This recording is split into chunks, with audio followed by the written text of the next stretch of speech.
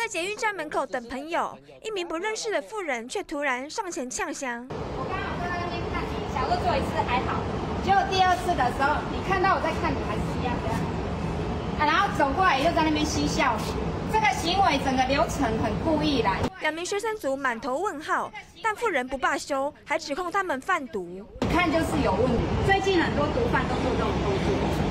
十三号白天，民众自称在南港的捷运站出口遇到妇人呛香，还说要报警，让两人觉得莫名其妙，气得泼文，请大家注意。这么多张，你这样子故意做了三次，那他现在是不是已经给你了？警察来了。另一边，新竹知名购物中心也有富人大闹素食店，因为不能刷卡，选择现金付款，但他嫌弃店家的零钱很脏，坚持要店家换钱，还闹到远警到场处理。这人怎么这么奇怪？然后。